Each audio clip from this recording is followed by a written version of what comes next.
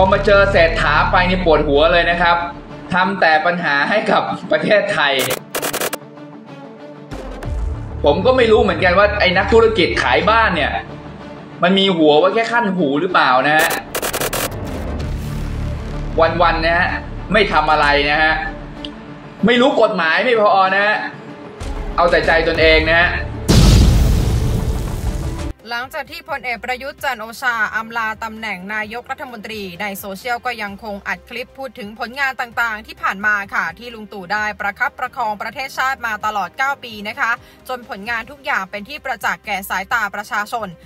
ซึ่งก่อนหน้านี้ค่ะ เต้มงคลกิจก็ได้อัดคลิปหลังได้เจอกับพลเอกประยุทธ์นะคะ ในขณะไปร่วมงานศพความตอนหนึ่งว่า เดิมทีผมตั้งใจจะไปเจอลุงตู่ที่บ้านอยู่แล้ว นัดกับพี่แรมโบ้ไว้ รอให้พี่แรมโบ้ขาหายดีว่าจะแวะไป รอให้บรรยากาศทางการเมืองสงบ และลุงตู่ได้พักผ่อนก็ไม่อยากจะรบกวน แต่โชคดีได้เจอได้คุยกับลุงตู่แล้ว ผมเห็นลุงตู่คุยกับลุงป๊อก และผมได้เข้าไปกราบสวัสดี เห็นใบหน้าลุงตู่ยิ้มแย้มแจ่มใสไม่เครียดเหมือนตอนเป็นนายกดุอ้วนขึ้น ผมก็ทักทายท่านหน้าตาผิวพรรณดีขึ้น ซึ่งต่อมาค่ะเต้มงคลกิจก็ไลฟ์สดนะคะ พร้อมขึ้นหัวข้อบอกว่าสงสัยลุงตู่ได้พักไม่นาน ระบุบางช่วงตอนว่า ผมขึ้นหัวข้อไว้แล้วว่าสงสัยลุงตู่ได้พักไม่นานทำไมผมถึงตั้งหัวข้อว่าสงสัยลุงตู่ได้พักไม่นาน ความจริงผมก็อยากให้ลุงตู่พักนานๆ เพราะว่าลุงตู่เป็นนายกมาร่วม 9 ปี แกก็เหนื่อย ไม่มีเวลาได้พักผ่อนกับครอบครัว แล้ววันนี้ก็เห็นว่าได้ไปญี่ปุ่นแล้ว เพราะว่าอยากให้ลุงตู่ได้พักผ่อนกับครอบครัว เพราะลุงตู่อายุจะ 70 แล้วไม่ได้ไปเที่ยวแบบส่วนตัว เพราะเวลาไปไหนก็มีแต่ขบวน อยากให้ลุงตู่ได้ไปเที่ยวสวิตเซอร์แลนด์ไปเที่ยวดูแสงเหนือ ได้พาครอบครัวไปเที่ยวทั่วโลกสักระยะหนึ่งนานๆ บ้านปลายชีวิตทำไมผมถึงตั้งหัวข้อว่าลุงตู่ได้พักไม่นานนะครับ คือสมมุติถ้า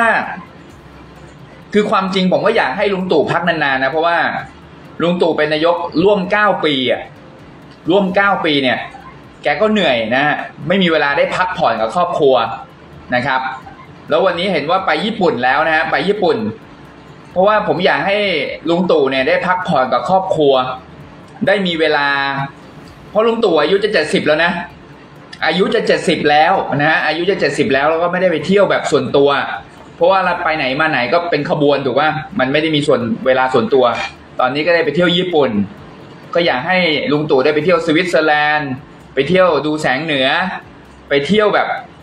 คือได้ได้พาภรรยาได้พาลูกเนี่ย ลูกที่เกิดด้วยกันมาในสองคนเนี่ย ได้ไปท่องเที่ยวทั่วโลกเนี่ย สักระยะหนึ่งนานๆนะฮะเป็นปีสองปีสามปีนะฮะบ้านปลายชีวิตนะครับ พี่น้องครับ ผมก็อยากให้ลุงตู่ได้พักนานๆนะฮะเพราะว่าก็เหนื่อยแทนแกเหมือนกันนะฮะเพราะว่าการประคับประคองประเทศไทย ตั้งแต่ปีห้าเจ็ดถึงปีหกหกเนี่ยไม่ใช่เรื่องง่ายนะ เมื่อก่อนเนี้ยประชาชนก็คงจะเบื่อลุงตู่อะเพราะว่าลุงตู่อยู่มาเก้าปี ถูกป่ะพอลุงตู่อยู่มาเก้าปีก็เบื่อ แต่พอมาเจอเศรษฐาไปนี่ปวดหัวเลยนะครับเศรษฐาเนี่ยเป็นนายกรัฐมนตรียังไม่ถึงสองเดือนเลยนะครับทำแต่ปัญหานะครับทำแต่ปัญหาให้กับประเทศไทยนะฮะผมก็ไม่รู้เหมือนกันว่าไอ้นักธุรกิจขายบ้านเนี่ย มันมีหัวไว้แค่ขั้นหูหรือเปล่านะฮะวันๆนะฮะไม่ทำอะไรนะฮะ ไม่รู้กฎหมายไม่พอนะฮะเอาแต่ใจตนเองนะฮะอยาก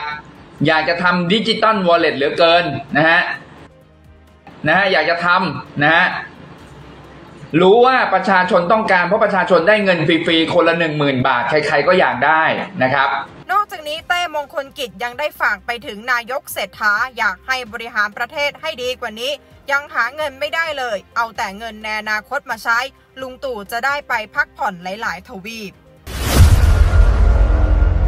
แต่ความจริงแล้วผมอยากให้คุณเศรษฐาบริหารงานได้ดีกว่านี้ ลุงตู่จะได้ไม่ต้องจะได้ไม่ต้องกลับมาอีก จะได้ไปพักผ่อนยาวๆ ได้ไปทวีปยุโรปทวีปแอฟริกานะครับ ไม่ใช่ให้แกไปพักผ่อนญี่ปุ่นเสร็จปุ๊บจะให้มาเป็นนายกอีก มันไม่ไหวนะ แกยังไม่ได้ไปพักผ่อนยาวๆเลยนะครับอ่า